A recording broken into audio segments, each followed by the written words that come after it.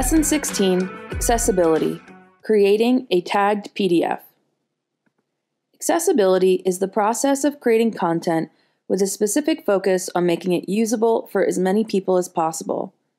There are many forms of accessibility. It is a vast subject that is ever growing.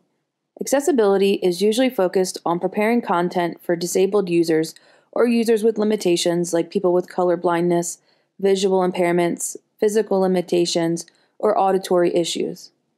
The goal of accessibility is to be able to communicate the content of what is being presented to all audiences. To do this, we must prepare artwork in alternate formats so that the communication can occur even if it is in a different way than originally intended. For example, someone who is blind cannot see embedded images in a layout.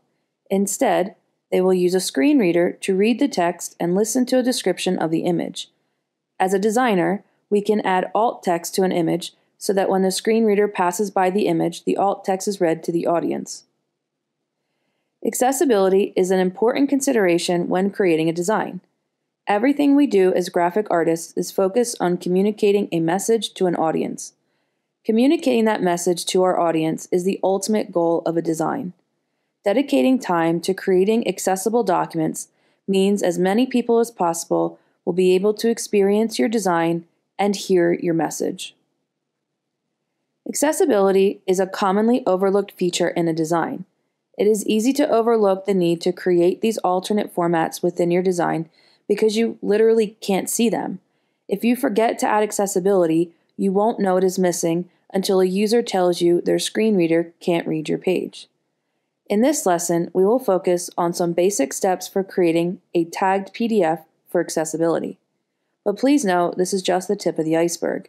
Accessibility is a vast subject. There is always going to be more that you can do to improve the accessibility of your designs. Different industries and different output applications apply accessibility in varying ways. There's no way we can cover all aspects of accessibility in one module, but we will do our best to cover some essentials through the creation of a tagged PDF and then as you enter the workforce, you can learn more techniques for increasing accessibility in your chosen profession. Let's get started creating a tagged PDF. A PDF is a portable document format. It is a standard file format that is very versatile. It can be opened and edited by many different software applications. Anyone with a computer can receive and view a PDF. It is a great file format to use if you need to prepare a document that will be shared with others. A tagged PDF is a regular PDF that has been formatted for accessibility. It includes hidden accessibility content that is used by screen readers to read the text, images, and formatting in a document to someone who cannot see it. The following slides outline the basic steps needed to create a tagged PDF in Adobe InDesign. You can follow along with this sample lesson from ART 1200 InDesign software by downloading the supplied files. They are posted directly below this video in Canvas. Please note, these are the basic steps. They are the absolute minimum that you should be doing to create a tagged PDF. Depending on what is in your design, there may be more formatting needs than those included in the demo. Step 1. Design your project as a static design. As you are designing your layout, use paragraph styles on all text and use header rows on all tables. Step 2. Sync your paragraph styles to export tags. Text is tagged in a ranked order using heading levels 1 through 6 and a paragraph tag. If all of your text is linked to saved paragraph styles, you can very quickly sync each to a specific export tag. Make sure nothing is selected and then double click on one of your saved paragraph styles. Then, click Export Tagging in the bottom left corner of the Paragraph Style Options dialog. There are two options for setting an export tag here. You can set a tag for EPUB and HTML documents or for PDF documents. We're making a tagged PDF, so we need to update the PDF settings but it can't hurt to set both while you are here, just in case you end up exporting your project to an EPUB or an HTML file in the future. Select OK to save your changes, and then repeat for every single paragraph style in your project, ranking your headings from 1 to 6. Step 3. Next, we will add alt text to our images. Select an image in your document and then choose Object, Object Export Options to launch the Object Export Options dialog. Use the first tab that says Alt Text. Change the alt text source drop down menu to Custom and then type your alt text into the text area below. Select Done when you are finished. Repeat for all images and visual elements within your project. Step 4. Use the File menu to launch the File Info dialog. Choose File and then File Info. Minimally add a document title, author, and copyright status within the Basic section of this dialog. This dialog adds metadata to your project. Add as much information within this dialog as you wish or need for your project.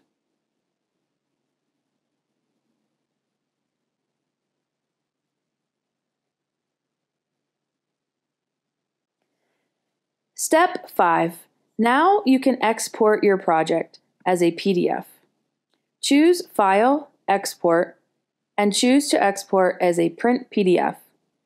Find the Create Tagged PDF option within the Export Adobe PDF dialog. Make sure it is checked.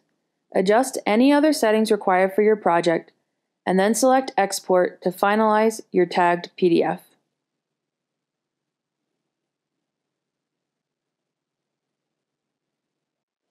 The steps we just completed are the absolute minimum needed to set up a tagged PDF with accessibility. However, accessibility is a vast concept that has many facets. There is always more and more that can be done to improve accessibility. In addition to adding metadata, alt tags on images, using table headers, and tagging text with paragraph styles, you can use the Articles panel to define the order content is read by a screen reader, you can anchor images in text flows so that the alt tag is read at the appropriate time within a design, and you can use Adobe Color to test color contrast issues before exporting. InDesign users should also use bookmarks, an automated table of contents, hyperlinks, and cross references. Let's start by looking at a layout that uses many individual text frames and graphics. The frames bounce all over the place, do you feel the visual design naturally allows a user to read the content in the order it was intended? The answer should be yes, since that's our goal as graphic designers. We can use the Articles panel to ensure someone using a screen reader gets the same experience. We can define what text frame is read first, and then second, and third, and fourth, and so on. Open the Articles panel via the Window menu. Choose Window and then Articles. Since we are making tagged PDFs, the first thing we need to do is communicate with InDesign that we would like to use the Articles panel to determine the order of objects in a tagged PDF. This is activated via the Options flyout menu. Choose Use for tagging order in tagged PDF. Now we can set the tagged order. Click an object on your workspace and then select the Create New Article option at the bottom of the Articles panel. Alternatively, you can also drag that object onto the Articles panel directly, or you can select New Article via the Options flyout menu. Give your new article a name and make sure Include when exporting is checked. The name you choose is strictly for your benefit when organizing content in InDesign. It will not show up on a screen reader. It will, however, display when viewing articles in Adobe Acrobat. Repeat this process by clicking each text frame and or graphic in the order you wish it to be read by a screen reader. Instead of creating a new article, choose the option to add selection to articles. Make sure your new selections are all nested under the same original article. When it is appropriate, you can create multiple articles. This will allow screen readers to skip ahead to the next section in a document. So, if there are multiple frames and graphics that are all part of the same content block, they should be saved as one article. If you have pages or text bodies that are intended to be viewed as separate chunks of content, you can separate them using multiple articles. Anchoring images within text flows allows the image to be read as close to the body of text it pertains to as possible. In InDesign, this is called object anchoring, and it can be as simple a process as dragging and dropping. A huge benefit of object anchoring is that it does not have to affect the visual aesthetics of a print or digitally viewed layout. Design the entire layout as you would like it to be experienced visually, and then go back and anchor your objects. There is a blue square in the top right corner of every frame. Text frames, graphic frames, and unassigned frames all have it. It is used to anchor objects. Hover over one of these blue squares and a tooltip will appear with instructions for anchoring. The basic steps to anchor an object to a specific location within a text frame are First, select the object you wish to anchor with the selection tool so that you can see the blue square. This is usually a graphic frame, but it can also be a text frame or an unassigned frame. Next, click and drag the blue square. Don't let go of your mouse. Drag until you are hovering over the text frame you wish to anchor your text to. As you hover over the text frame, you will see a text cursor appear. Continue moving your mouse over the frame until the text cursor is exactly where you would like to anchor your graphic. It is a good idea to make this at the end of a sentence or a paragraph. Anchoring in the middle of a sentence can be confusing for someone using a screen reader. When you're ready, release your mouse and the object or graphic will anchor onto the text. You will be able to see it visually because there will be a little ship anchor icon on the graphic frame and a long dashed line connecting the object to the area it is linked to in the frame.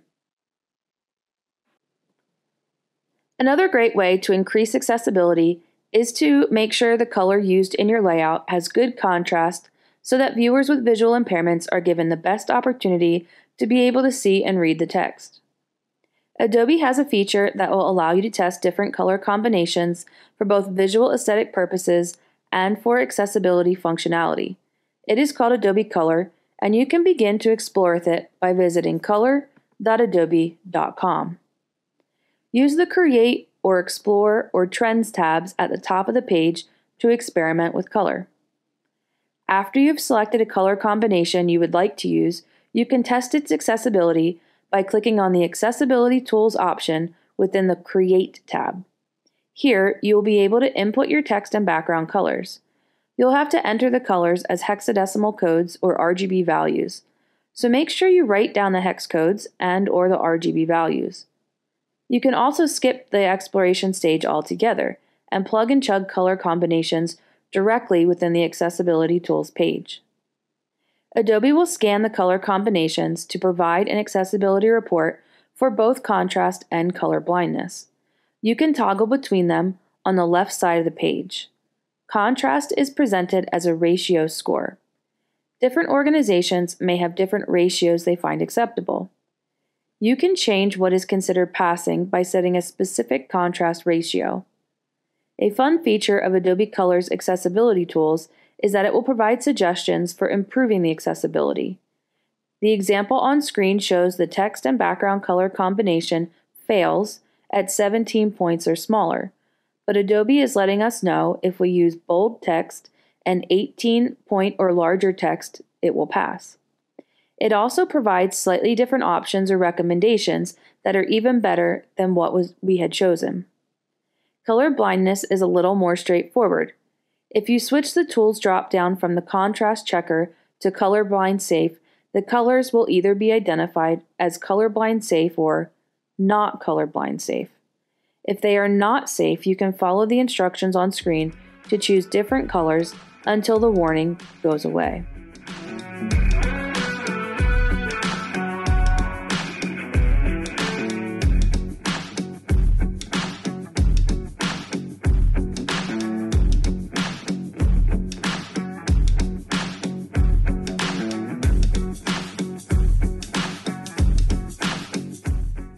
InDesign users should also use bookmarks, an automated table of contents, hyperlinks, and cross references when applicable. These all improve a screen reader's ability to successfully read the layout the way it is intended to be experienced. We've already learned about all of these during previous lessons of this course, so we won't relearn them again now. Just know that it is good practice to use the Bookmarks tab to set bookmarks, to always automate your table of contents, so don't make a one manually, activate hyperlinks via the Hyperlinks panel, and to use cross references when applicable within your designs. Adobe recommends finalizing and testing your PDF in Adobe Acrobat. You can download Acrobat through Adobe Creative Cloud, and on a side note, I recommend setting Adobe Acrobat as your default PDF viewer. Acrobat is the best program for working with PDFs. Acrobat has a few extra features that can be added to or used with an accessible PDF. Before we run an accessibility test, we should assign a document language and set a tabbed order if applicable. The document language is set via the File menu. Choose File and then Properties. Navigate to the Advanced tab, and then change the language under Reading Options if it is not already set to the correct language for your particular needs. The tab order is the order objects and text like form fields and hyperlinks will be selected in your PDF when the tab key is pressed. The Page Thumbnails pane is used to adjust the tab order. Open it via the View menu. Choose View, Show Hide, Navigation Panes, and then Page Thumbnails. Then, highlight the thumbnail for every single page in your PDF. Next, use the Options flyout menu in the top left corner of the Page Thumbnails pane to select the page properties. The Page Properties dialog will appear. Within the Tab Order section of the dialog, change the content order from unspecified to Use Document Structure. This will sync the tab order to the article's order you set in InDesign. Note, these steps are for print PDFs. If you are making an interactive PDF, the option to use document structure is inside the export dialog in InDesign. It is finally time to test your tagged PDF. Exporting to a tagged PDF is only half the battle. Now you need to test your accessibility to make sure it works as intended. Adobe recommends using Acrobat. At the very top of the Acrobat workspace, you should be able to switch to the Tools tab. This shows a wide variety of additional tools available for use in Acrobat. Find the accessibility option and choose Open. As soon as you choose Open, you will be redirected back to your PDF. But now the pane on the right side of the workspace will be set for accessibility. Alternatively, you can also use the View menu. You'll choose Tools and then Accessibility.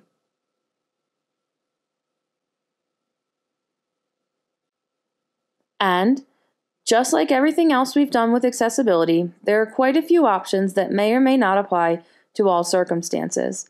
For now, I'd like you to run a full accessibility test and generate a report. To do this, you will need to choose Accessibility Check, and then inside the Accessibility Checker Options dialog, you will select the options to create an accessibility report, and then select all of the check options. Take a minute to set the location that the report will be saved to, and then press Start Checking to get started.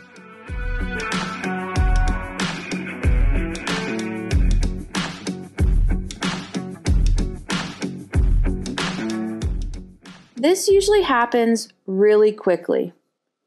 Find the report document that was generated, wherever you told it to save, and then open the file.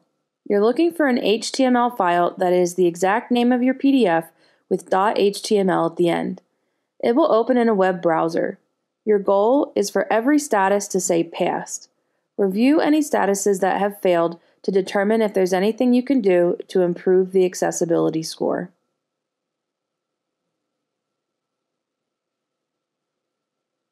Preparing accessible documents is all about the intended output and the intended audience.